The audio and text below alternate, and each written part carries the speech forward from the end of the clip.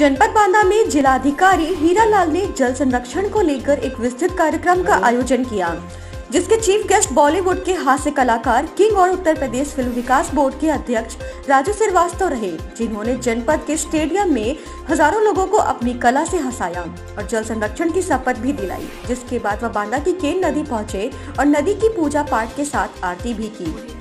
जिसमें जनपद के तमाम अधिकारियों सहित सांसद आर के पटेल, विधायक प्रकाश द्विवेदी, नारायणी विधायक, राजकरण कबीर बबेरू विधायक चंद्रपाल कुशवाहा भी शामिल रहे और के नदी की जल आरती भी की, जिस पर सांसद और विधायक ने कहा कि नदी हमारा जीवन है और उसका हमारे जीवन में बहुत महत्व है। इसलिए उसकी पूजा करना और आरती करना अच्छी बात है, लेकिन केवल आरती से पूजा पाठ करने से पानी की समस्या और नदी की दयनीय स्थिति ठीक नहीं होगी।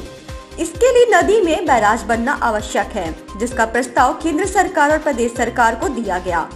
इसकी जैसे ही अनुमति मिल जाएगी, वैसे ही केन में बैराज बनाया जाएगा, जिसके चलते जनपद बांदा की पानी की समस्या बिल्कुल ठीक हो जाएगी, क्योंकि हमेशा से ही बुंदेलखंड के बांदा में पानी की समस्या आधारभूत समस्या रही है।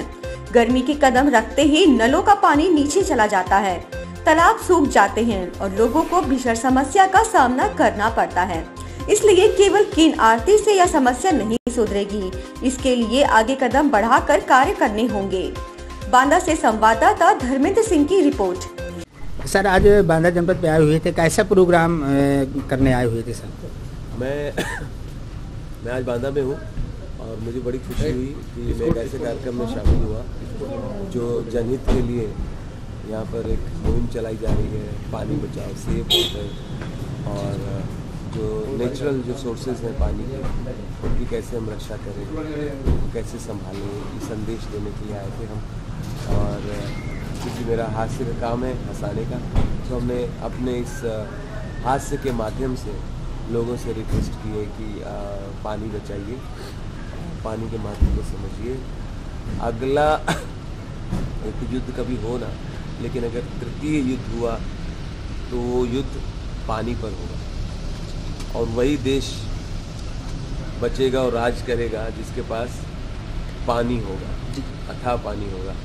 तो आ, सर अभी यार केन नदी में गए हुए थे केन नदी में आरती की आपको कैसी लगी यहाँ के बांदा की केन नदी और आरती जी बिल्कुल गंगा पे तो आरती मैंने कई बार की है। तो अब पानी के जो भी माध्यम है चाहे गंगा के हों चाहे समुद्र के हों चाहे नदियों के हों उन्हें हमें संरक्षित करना है संभालना है उनका सम्मान करना है। ये सब हमारे लिए जीवन के लिए अत्यावश्यक है पूजनीय है। तो पूजनीय कैसे होंगी? जब हम आरती करेंगे उनका प्रणाम करेंगे।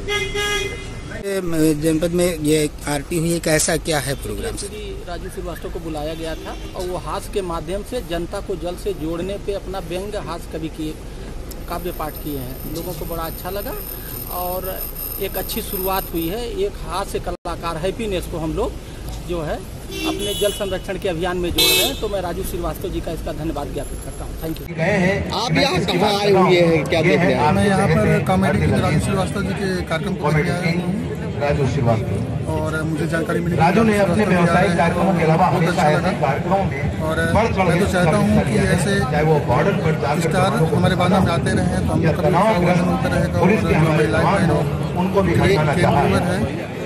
उसके बारे में कैंसर से पीड़ित जागरूक करने लोगों की मदद की है। हम लोग को बहुत खुशी महसूस किसके द्वारा कराया गया कार्यक्रम? हमारे सम्मान पैसा इकट्ठा करके देना। अधिकारी महोदय बांदा ये सब स्वेच्छा से और निःशुल्क करते आए के तो ऐसे इनके बारे में जो हमारे